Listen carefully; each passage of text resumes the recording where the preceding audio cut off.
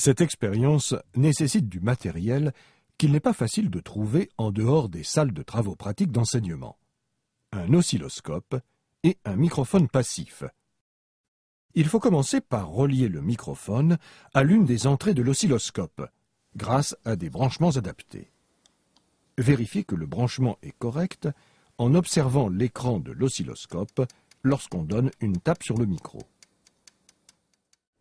Plaçons un diapason devant le micro et mettons-le en vibration en tapant sur l'une de ses branches.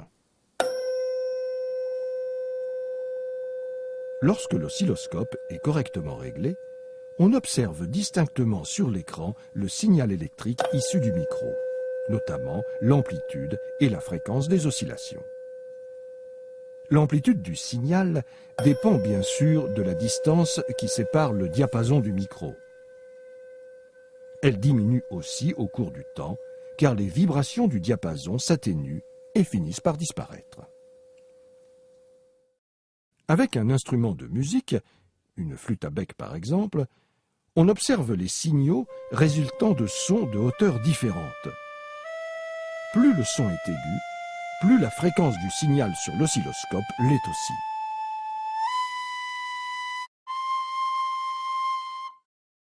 Enfin, on constate que le son émis par le diapason est un son pur, c'est-à-dire correspondant à une vibration purement sinusoïdale de fréquence unique